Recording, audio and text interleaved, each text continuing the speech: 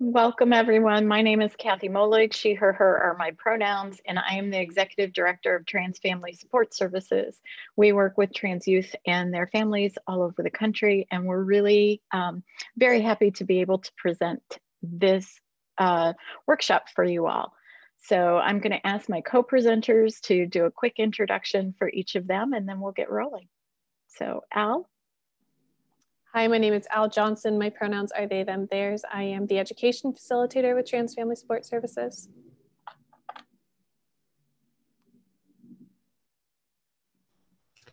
And hi, my name is Gregory Richardson. I'm the youth programs coordinator for Trans Family, and my pronouns are he and they. Awesome. We're gonna gonna hear a lot more from both of them, and in particular, talking about those pronouns in case you're confused at all by um, by any of that. So, real quickly, we aren't here to change anybody's values or beliefs. Those are are for you. Sorry a fire alert. Those are for you to be able to hold. We're just here to kind of provide an education to bring some awareness around the trans and non binary identities, um, to be able to give you some, some, some information as far as language, maybe help to demystify some of that language, and to ensure that trans people have equal um, access and equal treatment. So we can't have this conversation without having a basis of just what is gender identity. Most of us have never really given much of a thought to it um, because our gender identity aligns with the sex we were assigned at birth but that's not the case for everyone. So, gender identity is defined as the innate sense of knowing who we are. It's based in our brain. Um, and researchers have proven that most of us know our gender somewhere between the ages of three and five, but that doesn't necessarily mean we know what to do with that information at that that age. Um, gender is not the same as sex assigned at birth, and we're going to talk some more about that. So we live in a society that is very binary in our, our gender, in our gender expression. Uh, there's a pink box and a blue box, and, and everyone needs to fit in those. And what we really know is that gender has so much more to it than just these boxes.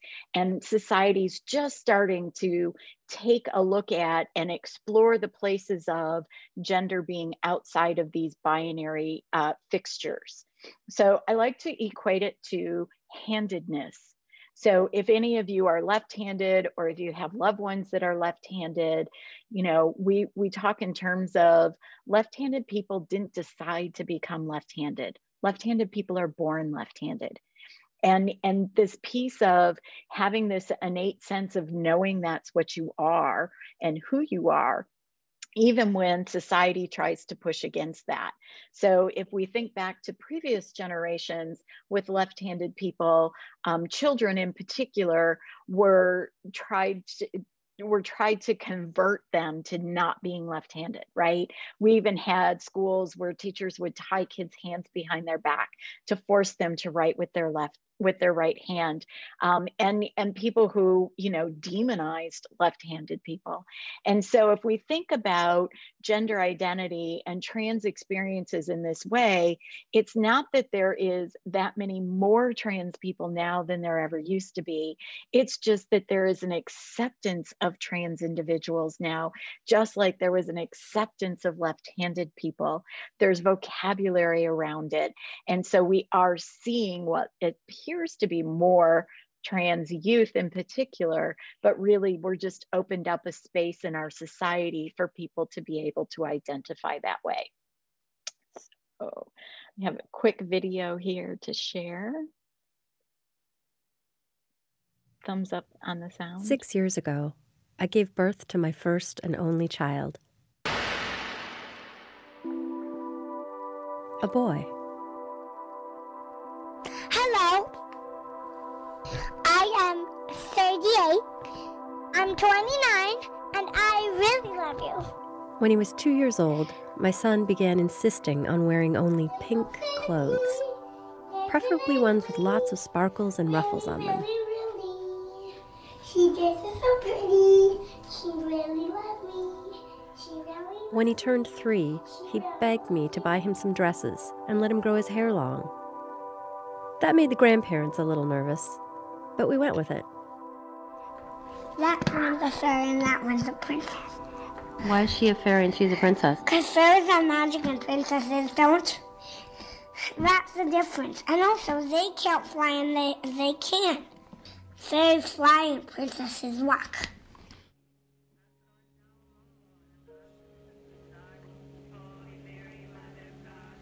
And then one day, in a conversation that I kind of knew was coming, but it still knocked the wind out of me, my child told me that he was actually a girl, not a boy.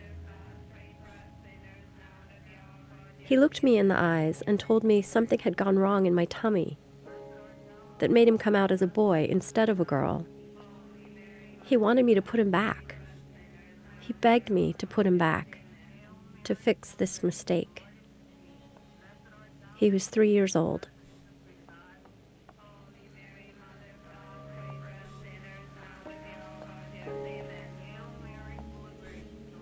I spent the following year resisting, trying to present alternatives. I told my child over and over again that he could continue to be a boy and play with all the Barbies he wanted and wear whatever he liked dresses, skirts, all the sparkles money could buy. But my child said no. Absolutely not. She was a girl. What are your favorite things to play with? My princess things. Your princess things? Why do you like princesses so much? I just kind of do. Do you think it's okay for boys to like princesses? Uh, but I'm a girl. After 12 long months of making both myself and my child miserable, I finally let my little boy go. Goodbye.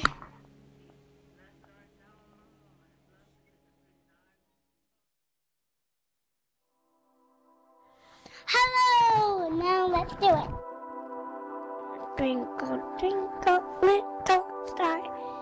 We switched to female pronouns and told our family and friends that she was a girl now. get diamonds in the sky. She wanted a new name, a girl name. At first, she picked Rainbow. I was relieved when she changed her mind and named herself after her aunt. So now I have a girl, Talk about princesses. a daughter. Actually, I need to hear about how spaceships fly. A really happy daughter.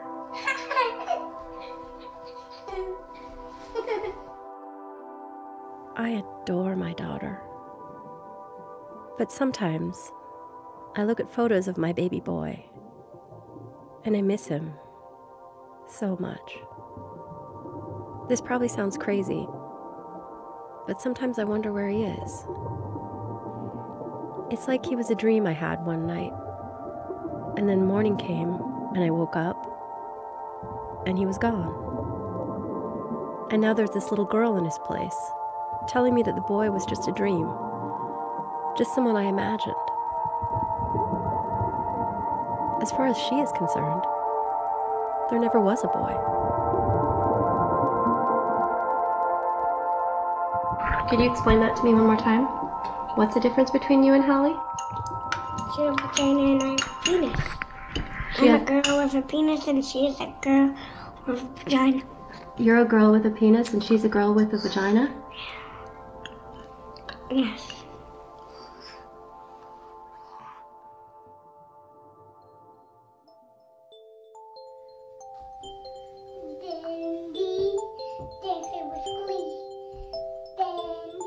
That I have a daughter instead of a son, what does this actually mean for her? And for me as her mother, Pink is a mama. Pink is a mama. Other than letting her wear pretty dresses and using different pronouns? What has actually changed? What does this newly minted girl need to know? What do I need to teach her about how to be a girl? Girl alien does all the work while the boy alien sleeps and eats. Do I even know how to be a girl? The girls also have blue and purple spots. And if a girl can be a senator or an astronaut or a plumber, if a girl can wear pants and have short hair, if a girl can even have a penis, what is a girl anyway? Who gets to decide if you're a boy or girl? Me.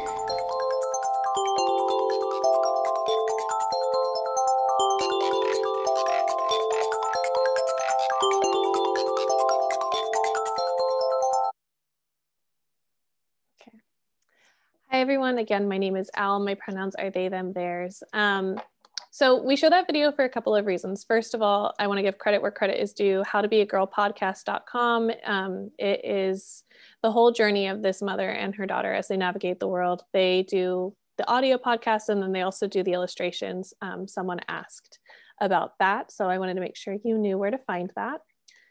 And so we show that video for a couple of reasons. The main reason being it's highlighting a couple of key points that Kathy talked about in our introduction.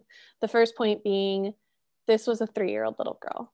Um, she was not being influenced by social media. She was not being influenced by her peers. This is something she innately knew of herself. And so this really drives home that piece of our gender identity is highly personal and it is something that we are intimately familiar with in ourselves um, and that information being presented to parents or other adults in our lives may come new to them, but we've known this for a while. And then the other piece is that idea of not being able to convince a child that they're not who they say they are, right? We see this mother and, and the relationship between a mother and their child is really special. Um, and this mother trying to say, oh, well, well, you could like all these things and be a boy, but her child knew that she was not a boy, she was a girl. And so after about a year of, of this convincing of this conversation trying to happen, finally, um, the mom realized that her daughter was not going to be convinced otherwise. So those are two really important points to keep in mind when we go further into this conversation. So what is gender identity? When we talk about gender identity, we really break it down into three major components. The first being that piece of identity, who we know ourselves to be, it's based in our brains, that piece that Kathy talked about earlier. Then we have a sex assigned at birth. And sex assigned at birth is usually what we conflate to gender, but sex is just that piece of genitals, hormones, what the doctor declares at birth.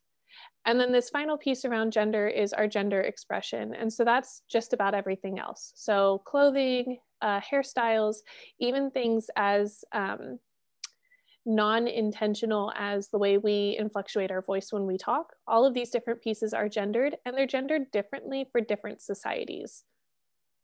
Go ahead, Kathy. Thank you. Um, so this can be really overwhelming. There are a lot of letters on this little graphic, but we're gonna break it down. We're gonna make it really simple and I'm gonna make sure that by the end of it, we all have a similar basis of information that we're working with. So our first letter L, lesbian, we are familiar with lesbian. This is a term that describes female identified folks who, ident or who are attracted to other women. Um, gay is just like the inverse of lesbian. This is a male identified person who's attracted to other men. Again, we're very comfortable with this word. We've heard it around before. We start to get a little bit more complex when we talk about bi bisexual. So in the past, bisexual has been defined as a person who experiences physical attraction to two gender identities.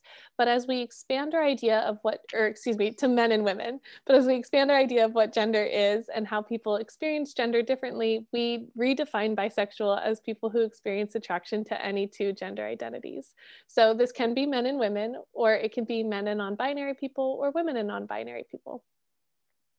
Moving away from sexual orientation and into our gender identity terms, we have our first T, transgender. Transgender is an umbrella term used to describe any person whose gender identity is different than the sex they were assigned at birth. Full stop. That is the only requirement to be able to identify as trans. You don't need to access medical transition.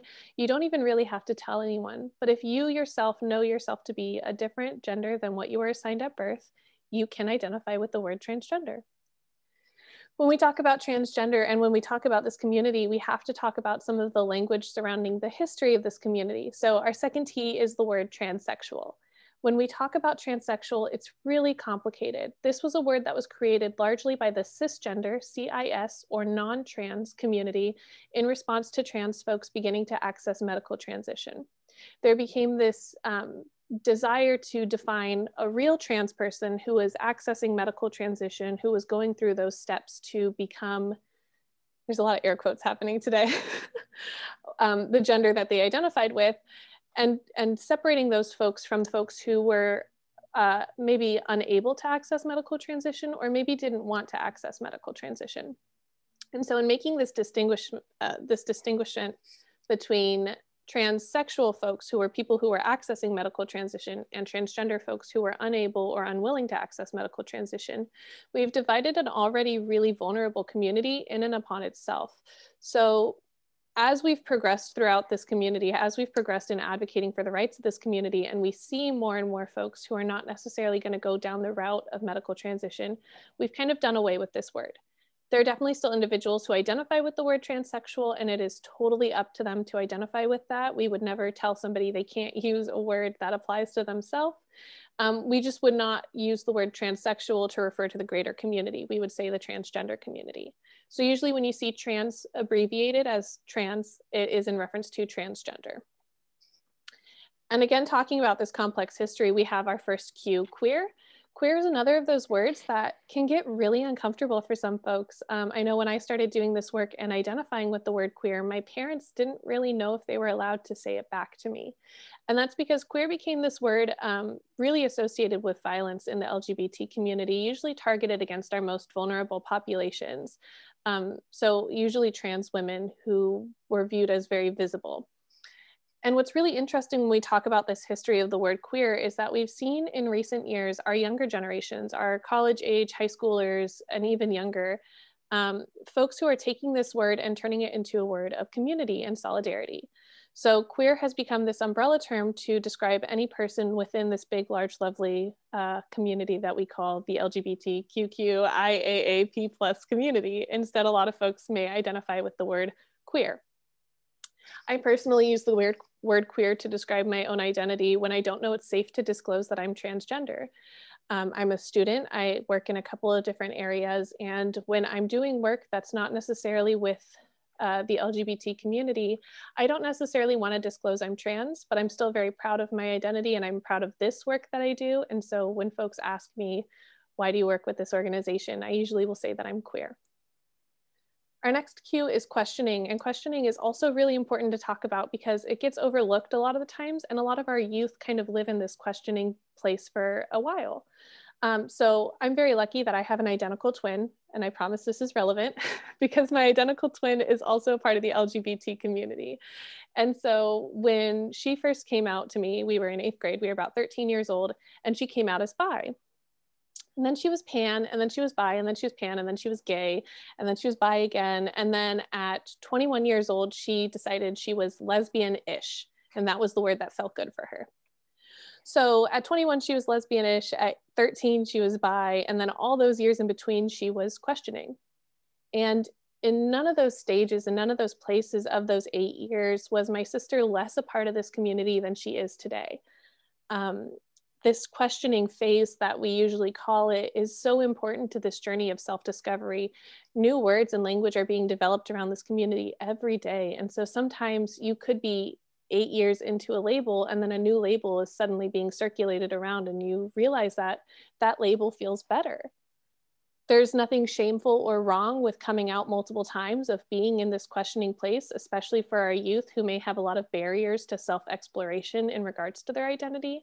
And so when folks are coming out to us multiple times, every single time we have to regard that information and uplift that information as as special as it is, um, because it never gets less important to the person telling you moving away from some of these identities back in the, the sexual orientation field, we have our, our I, intersex.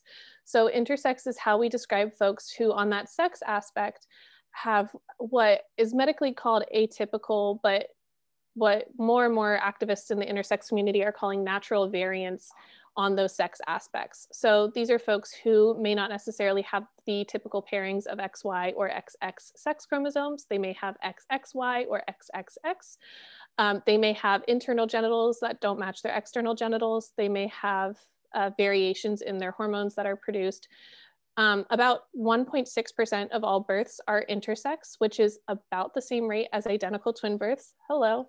So if you've met an identical twin, there's also a very significant chance that you've met an intersex person in your life. Um, and when we talk about the intersex community, we have to talk about like the forefront of the intersex activism uh, movement, and that is intersex genital mutilation. So for a really long time, what was happening with intersex births is if baby had external genitalia that didn't necessarily confine to what was classified as a, a, vagina or a penis, those doctors would take those children into operation, usually without letting parents know what was going on, and they'd make all those babies female because it was easier to make a vagina than a penis. Great, parents are told you have a daughter, this is your little girl. She's socialized as female, raised female, all of her friends are girls. And around that age of puberty, the natal puberty, they're starting to develop their menstrual cycle. Maybe they're getting breast growth development. And instead, this little girl has an Adam's apple or facial hair developing because she had internal testes. Our society doesn't have a place for this natural variance. And so she becomes exiled and she has a lot of struggles in her life that wouldn't have necessarily happened if she had been raised knowing her intersex identity. Um, so more and more hospitals are coming forward and saying that intersex genital mutilation is harmful to the child and to the family unit as a whole, which is really exciting to get to see the progress of. So it's just something important to be mindful of um, when you're going about your own practice. Moving along, we have our first A ally. Not a lot of folks uh, would include ally in this acronym, but we include it for a very particular reason. And that is that I can talk to a room full of other trans folks. And for the most part, we're all already going to have this information. We all already know how to respect other folks' pronouns, how to correctly use non binary pronouns. We're very familiar with our own community. And so the only way to make the world safer for folks like myself and Gregory and the youth that we work with is to spread that information to our allies. You all hold such a huge stake in our safety and our comfort as we navigate the world. Um, and so it's very important that our allies have this information in order to best serve us and, and to best further our, our cause in our community. So know the significance of you all sitting in on this conversation um, and being a part of this because it is not slight, it is very significant. And then our last couple of letters, I'm going to just go through real quickly. We have A, asexual. This is a person who does not experience physical attraction to people of any gender identity. And P, pansexual, folks who experience uh, physical attraction to folks of all gender identities. So the most significant thing to get out of all of that piece is gender does not equal sexual orientation. Just because a person may express that they are trans does not necessarily mean that they are not straight. Um, so sexual orientation is who a person goes to bed with. Gender identity is who a person goes to bed as. and you don't have to get it. Um, it can be really confusing. A lot of this is new information to those of us who are outside of this community. So you don't have to understand in order to be supportive and affirming. And we're going to help you under, uh, know some of those pieces to support and affirm without necessarily having all the background information. So why does all of this matter? With our youth specifically, 80% report regular bullying at school, 40% um, of our homeless youth identify within the LGBT community, and 51% of our trans youth are denied access to restrooms consistent with their gender identity. And what does that look like? Um, this conversation varies for a lot of us depending on different levels of passing as the gender that you identify with. But for those of us in the non binary community in particular, this can be a conversation of looking at two restroom signs and realizing that you don't see yourself reflected in either.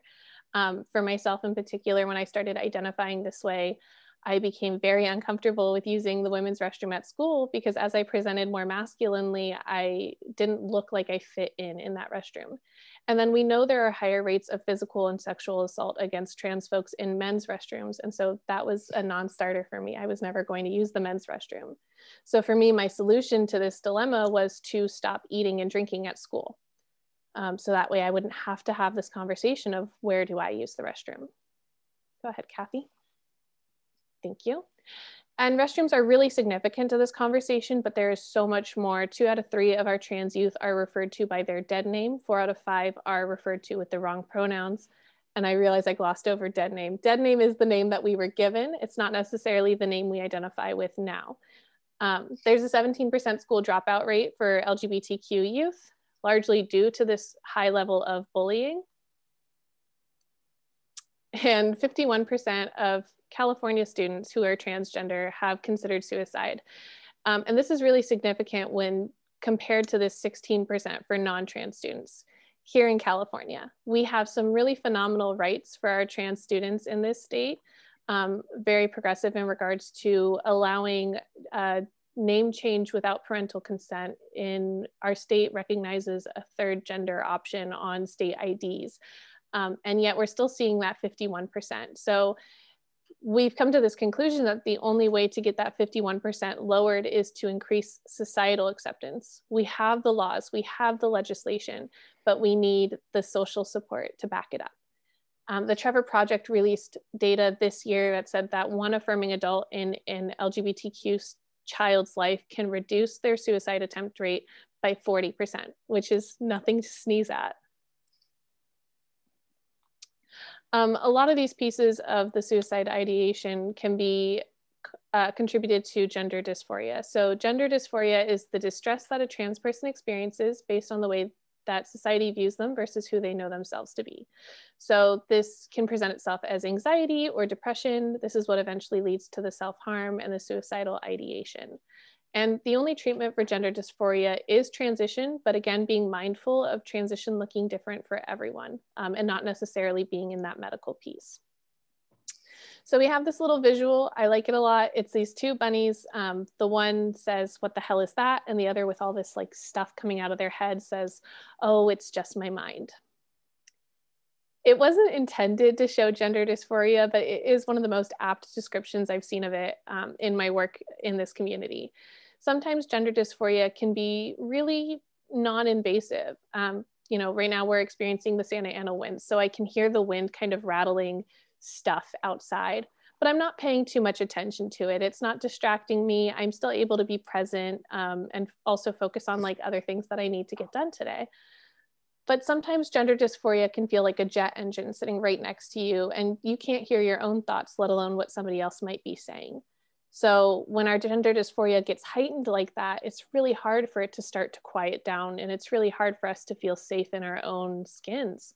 Um, the best way to alleviate a person's gender dysphoria is to be able to affirm them and, and to show them that they are safe in their environment.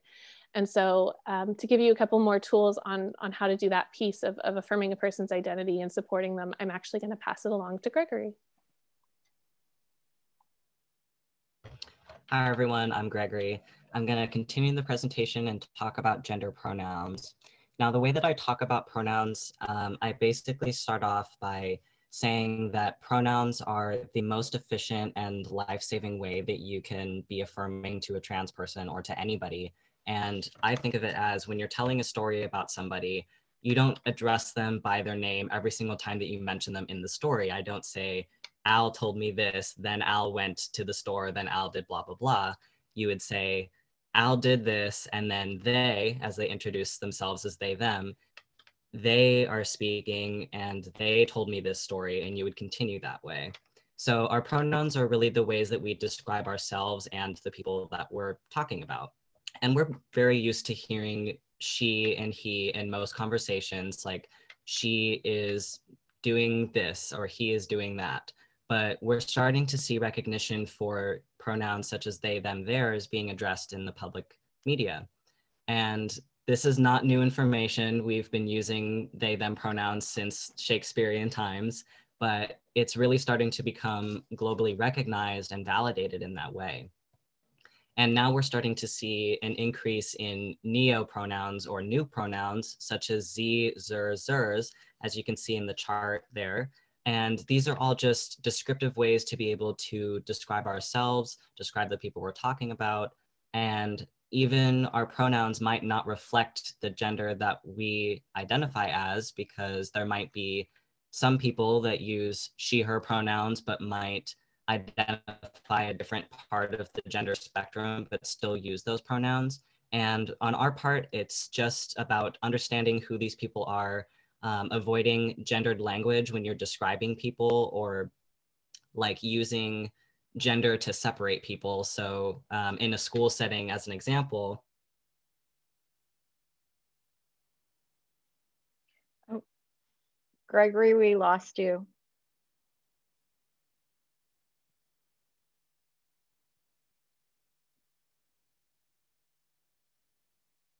Place for trans people or non-binary people to exist in.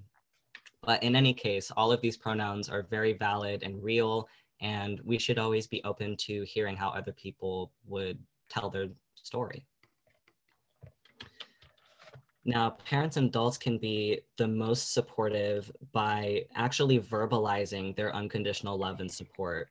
It might seem trivial to actually say that, but you might be the only person in that child's life to be supportive for them and to be a safe space for them if they're getting bullied at school or having issues with their religious groups that um, as al mentioned having one supportive adult can decrease their uh, mental health issues or their suicidal ideation by 40%. And that is such a huge amount that we can't skimp over that.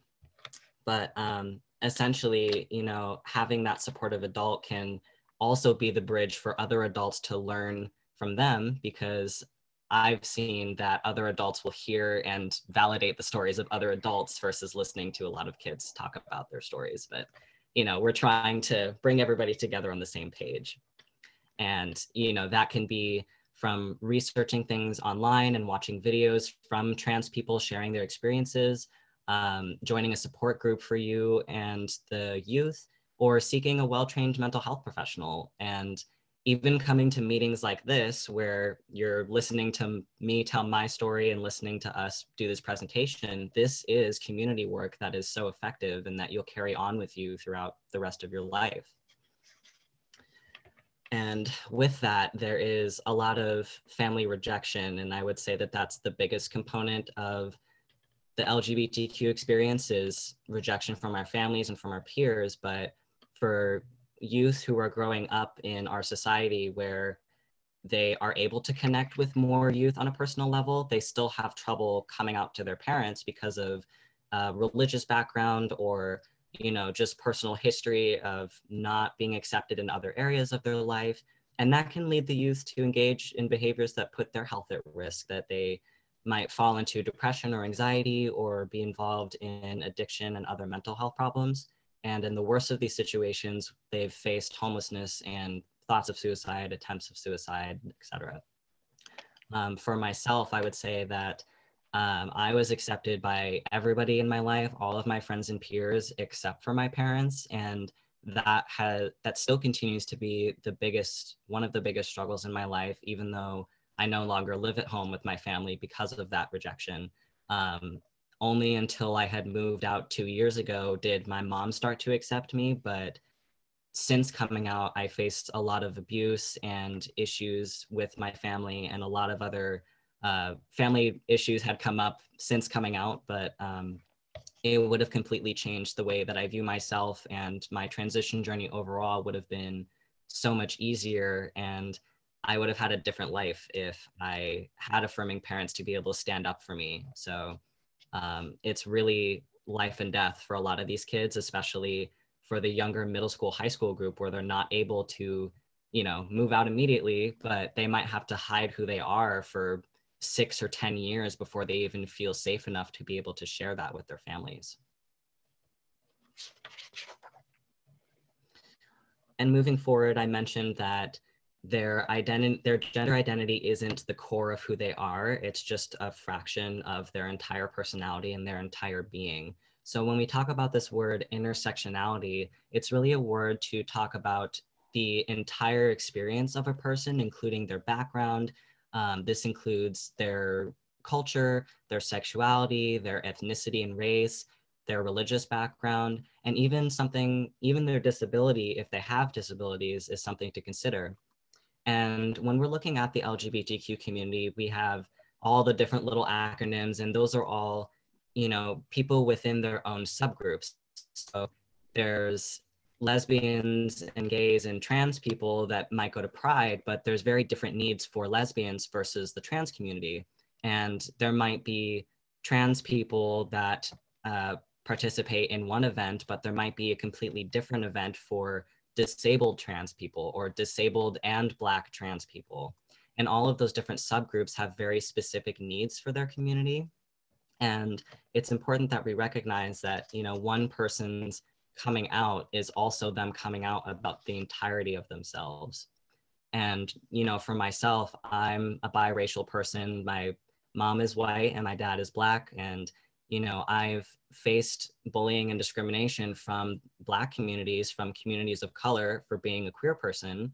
And typically the queer people that I surround myself with are in mostly white communities. And it's kind of, I don't want to say negative, but I'm lucky to say that I haven't been physically abused for being in either of those communities, but this is something that's so common that, you know, I shouldn't have to feel lucky about that. But, you know, just recognizing that somebody's gender background might be one thing, but you also have to consider everything else about that person and where they come from and their culture and all these other aspects of themselves that influence who they are. Excellent. Thank you so much, Gregory and Al both. Um, we're gonna, gonna talk a little bit in general uh, because we have such a diverse group of people gathered here, right? So a lot of times we're doing this training specifically for educators, specifically for mental health providers, but the Live Well community pulls people in from all different places. So we wanna cover as much as we can. And I just wanna call out and let you know that um, Al and Gregory both are answering the questions in the Q&A. So if you have any questions along the way, they're gonna be typing away as I, I kind of continue this. Um, it's unfortunate we can't just open up and do a Q&A, but you know, virtual platforms are a little bit more restrictive in that way. So feel free to drop your questions in there. So um, Al kind of talked a little bit about legal rights and it's important for us um, that are gathered here. I'm assuming most of the the folks that are on this today and watching it recorded would consider themselves an ally or at least working their way towards being able to use um, use that label for themselves and it's important for us to have kind of an overview of, of things such as the legal rights. So, you know, we are sitting in California where we do, we're very, very fortunate, as Al mentioned, to have some really great laws in our state. We work with people all over the country and, and it's challenging in a lot of states. So knowing that, you know, our, our students, our youth have the right to use the restroom, the locker room, and the sports team that best matches their gender identity. Um, also knowing that on a federal level, there is um, there's definitely some movement being being made and hopefully in the coming years we'll have even more movement. If you're um, really want to do some some advocacy work uh, google the equality act which has been in the house and has not passed the senate yet um, hoping that it, it passes soon because that's going to make a huge difference across our country in LGBTQ rights. Um, one of the things I think is really important for us as, as adults um, working with trans and non-binary youth is that we understand the piece around that um, if a youth tells us about their identity, we don't have the right to talk to anyone else or to tell anyone else. And that's really important. The first thing, if somebody does share with you about their gender identity, like really honoring that this is really private, intimate, personal information they've just shared um, and honor that that they trusted you and honor them for being able to share it with you. But it is not up to us to tell a teacher a principal a parent or anyone else. That's that's really vitally important. It would be important to have a conversation with how can i best support you what do you need from me? Um, rather than going around the the youth and and trying to figure that out without having conversation with them. Um, we do also allow in california for legal name change the gender recognition act that was signed into law a number of years ago allows for um, non-binary folks to have a gender marker that represents them as non-binary and really helping us as a society to move out of these binary boxes of the pink and blue that we talked about in the beginning. Um, and then also uh, medical rights, right? So some people do choose to do a medical transition, um, and and some people choose not to. But that there are rights around that. There are rights with insurance coverage, um, and we've really seen um, a big explosion of uh, medical providers getting trained and becoming really experienced in working with with the trans population um, almost a decade ago when insurances started to cover medical transition. Um, it's really changed a lot. There's still a long, long way to go. We have lots of mental health providers and medical providers that are not really skilled and experienced in this care. Um, that are providing the care. So we have a long way to go, but it's it's come a long way as well. If you are an educator or a mental health provider, someone who's working with youth and, and you're trying to figure out like, how do I handle, you know, asking the question, it's not appropriate to ask someone if they're transgender, um, but being able to say that, you know, I see on your file, your name is this, is that the name you'd like me to use? And, and this is a question that we can ask every person we're interacting with, um, not just people that we may perceive, right? So my birth name is Kathleen. And like when somebody uses that name for me, literally the hairs on the back of my neck stand up because the only time I've ever been called it was when I was in trouble as a child. And so that would be a, a conversation that would allow me to feel more comfortable in the situation that I'm in and allow me to not have kind of that like sort of overwhelming feeling um, from the get go. And then also asking on pronouns. And it's important when we're working with youth that we lay out some groundwork for them, right? Not just what pronoun is best for me to use in our interactions, but you know younger kids helping them like you know some people use he she or they and and that allows the people you're working with to know that you have a little bit of an understanding and more importantly you're going to affirm their identity. Um, one thing that was on the slide that um, some of us have a harder time wrapping our head around those neo pronouns right? If it's outside the they them it's like wait what? What um, and and so getting yourself to like have that poker face and not go to that like wait what are you telling me i'm supposed to use? because i don't understand. And just um, leaning into and and you know i use the phrase of tell me more about that um, when it's something that i'm really not understanding very well. Um, and then you know where do we go next? So this is this is an, an, hour of your time and and a lot of very in-depth information that still needs to be collected. So we really believe strongly in that you know this is scratching the surface. It's time for you, as whatever profession you're in, if you are working with youth, if you are working with adults, either way, to really get educated um, reading articles, watching YouTube videos. If uh, in particular, if you work with youth, ask them who they're watching on YouTube and go watch them yourself. Our kids learn so much from watching YouTube videos. And we as adults in their lives should be looking at that as well and learning from that, you know, and then asking trans folks if they're comfortable sharing information. Certainly not like patients or clients, but if you have other people in, in your realm, um, ask them if if they're willing to share information um, in a non-covid world take them to coffee take them to dinner right and and just just get that more information there are a couple of stories that have been um, in the news as of the last couple of days and one is um, elliot page who is the star of juno and the Umbrella Academy. Did I say that right? Yes. Okay. Um, who who just publicly came out as as trans, and and there's lots of articles and conversations and some people who are getting it right and some people who are not getting it right and still using that dead name as al talked about.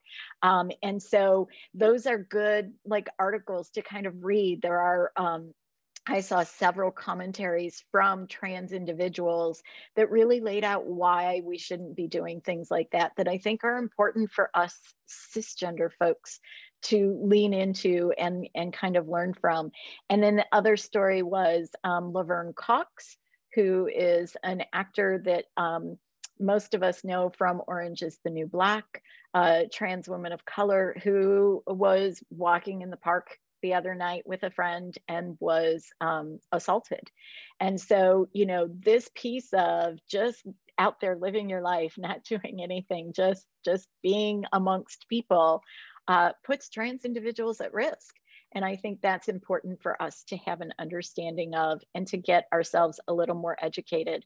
Um, also, PFLAG's a great place for allies and advocates of the LGBTQ community. There are support groups all over the country. We have many of them here in San Diego County. Um, really encourage you to, to look at that. If you're a professional in the field, and a mental health provider, an educator, like really seeking out where else can you get this information. You know, now in this virtual world we live in under COVID, there's so much great continuing education material that's out there and available that you might not have the availability to travel out of state for a conference, but we can all sit in front of our computer, um, at least for a workshop or two. So I highly recommend that you look at that. Um, and know what your local resources are, right? So Trans Family Support Services is one, the centers, um, PFLAG, GLSEN. There's lots of different organizations within San Diego County that are working specifically with LGBTQ youth. Know who they are. The YMCA has some great programs um, and lean into those.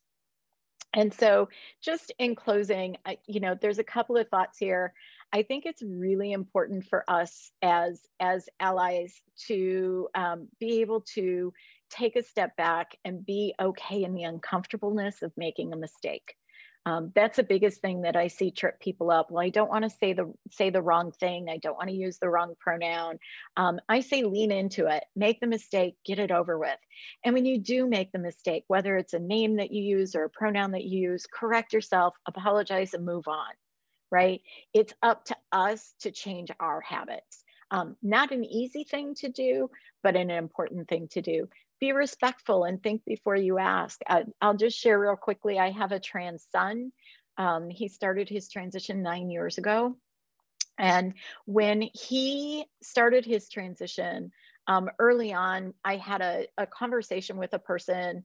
Um, Sam was standing there, gave me the nod, which meant I could tell this person that he was trans.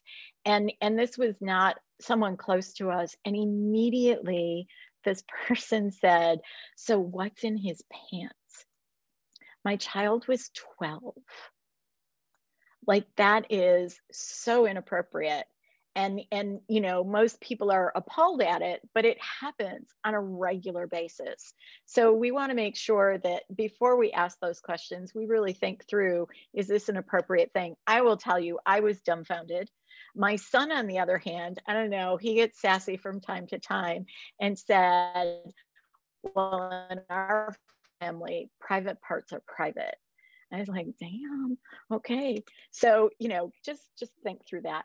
Um, own your mistakes. I will tell you that um, I've known Al for over four years now and and have always known al as they them and and just didn't have issues with that and then one day al showed up to the to my office wearing bright red lipstick and it just completely threw me off and my brain just i i wasn't being as conscious as i should have and i sheathed them um, probably more than once and so it's important that when we do make a mistake, that we just acknowledge we've made that mistake and that we move on from that. Realizing our own personal biases, we all have them. Absolutely, we have them. It's not, it's just part of the human existence and getting over this piece of, well, I don't have biases. Yes, we do.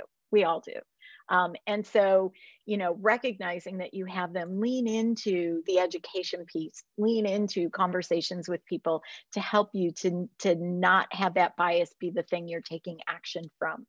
Um, so I know that, that there's been some questions um, on the on the Q&A that um, it looks like Al and Gregory have answered. So I'm, I'm happy for that. Here is our contact information. Um, and and so i'll just i'll add a little bit since this is what's up what you know there are no fees for our services we're a nonprofit here in san diego we do work with people all over the country our tagline is navigation for the journey so we may start at at helping um, a youth before they even tell their family all the way through helping people with any kind of transition needs and and things like that helping families really navigate through um, so i think that I am going to open it up to Al or Gregory. If either of you have any of the questions that maybe you answered that you'd like to kind of bring forth for everybody um, or add more to, we have a few minutes to be able to do that. Yeah, um, before we really get into it, uh, there is a question currently in the Q&A that Kathy, I feel like maybe you would be the best to answer of um, where should folks go to find mental health providers who specialize in the LGBTQ community? And specifically, the, the attendee is asking here in San Diego, but um, if you have information for elsewhere. Yeah, absolutely. So, you know, the the piece around um, specialized, right? Because most mental health providers on their website, on Psychology Today, they may list LGBTQ, they may list trans youth, um, and it doesn't always mean that they really are specialized. It's just one more thing that they've listed on their website. So I think, you know, vetting them um, you know, we we definitely have a list of people that we know within San Diego County that are really specialized in trans care, in particular trans youth care. Um, but but having that conversation, calling and asking, and and asking, you know, what kind of experience or education do they have? Um, in particular, if you have a, a youth or a trans person, um, you don't want someone that's just going to be affirming and is just going to, you know, yes, I'll use that name and pronoun. You want someone that really understands what this journey looks like to really be able to assist them. So the other piece is you can go to WPATH, which is um, the World Professional Association of Transgender Health, WPATH.org. Um, and the folks that are members of WPATH would definitely have much more of a, a, a specialized um, experience.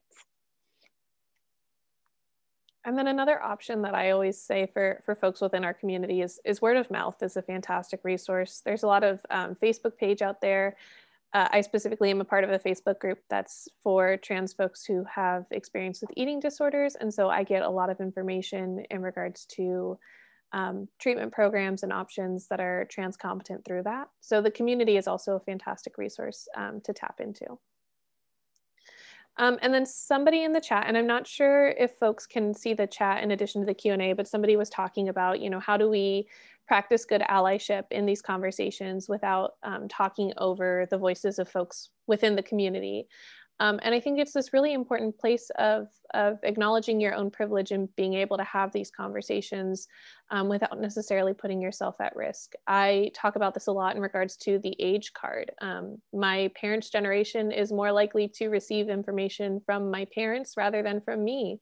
And so I expect my, my mom specifically, because she's a mom with a big mouth and I love her for it um, but I very much anticipate my mom being able to step in where I'm not necessarily able to and, and to educate folks who might um, speak over me or disregard my own experiences for my age.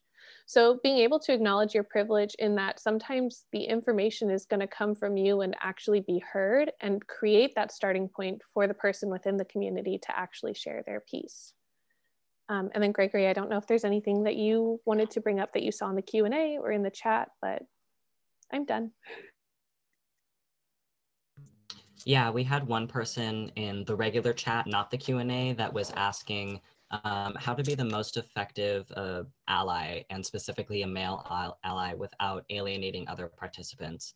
And I just wanted to highlight that it's actually really important that you share with us the privilege that you have as a male ally or just allies in general have their own privilege because they are not the ones that are specifically going to be facing the high levels of discrimination and violence that we would be facing as openly out trans or queer people. Um, but not to say that that is necessarily negative, but just stating by stating that you're allowing us to take the forefront of the conversation and not making the space centered around uh, your discovery about the community, but really hearing the stories from people who actually live those experiences.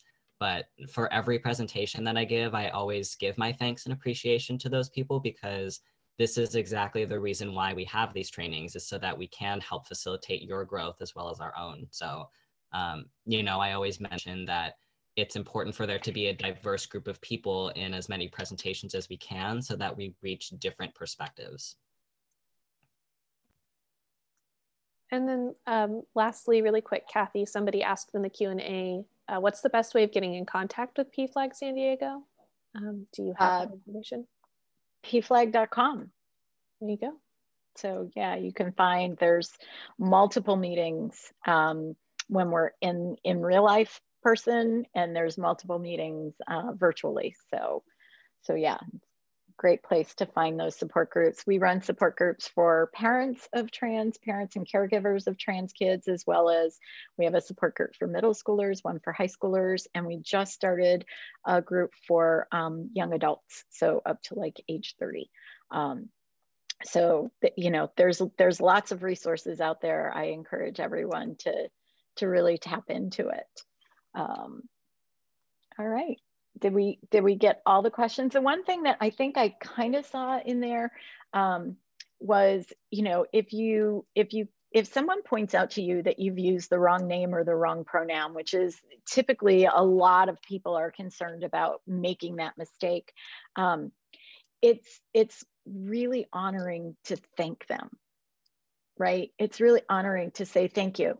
Yes i meant she um, and being able when when we say we're sorry the other person has to kind of make it okay. And it's not okay. It's not okay to use the wrong name and pronoun. You know we're all trying. I work with parents that are like i've called my kid this for 15 years. Yes i understand that. Um, but it still hurts them when you use the wrong name or pronoun. So instead of apologizing really leaning into being the best ally is saying thank you. Yes i mean she and moving on so that that person doesn't have to tell you it's okay when it's not really okay. So thank you all for, for hanging with us for an hour. Hopefully this was helpful to you. Please feel free to reach out if, um, if we can help in any way and enjoy the rest of this amazing conference. Have a great day.